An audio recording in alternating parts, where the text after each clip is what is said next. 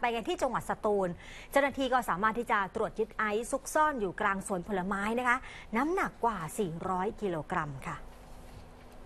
โดยการจับกลุ่มในครั้งนี้ค่ะ เป็นการบูรณาการร่วมกันของกรมศุลกากร แล้วก็กองทัพภาคที่ 4 ทัพเรือภาคที่ 2 หน่วยงานปราบปรามยาเสพติด แล้วก็หน่วยงานด้านความมั่นคงนะคะในการที่จะวางแผนจับกลุ่ม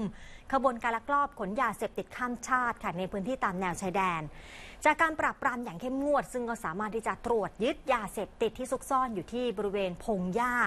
ในสวนผลไม้นะคะที่บ้านทุ่งนุ้ยอำเภอควนกาหลงจังหวัดสตูลค่ะ ก็พบ ยาเสพติดหรือว่าไอซ์เนี่ยแหละค่ะบรรจุอยู่ในกระสอบปุ๋ยนะคะ 14 กระสอบด้วยกันแพ็คใส่ซองชาสีทองอย่างที่เห็นเนี่ยแหละค่ะ ซึ่งเป็นซองซองชา ชื่อดังจากประเทศจีนด้วยน้ำหนักเนี่ยประมาณ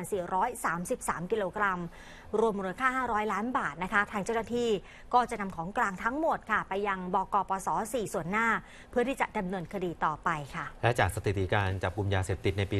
2561 นะครับตั้งแต่เดือนมกราคมจนถึงปัจจุบันครับในพื้นที่ของสำนักงานจุลกากรภาคที่ 4 ก็สามารถจับกลุ่มยาเสพติดประเภทยาไอซ์ รวม 1,880 กิโลกรัมนะครับ กัญชาอัดแท่ง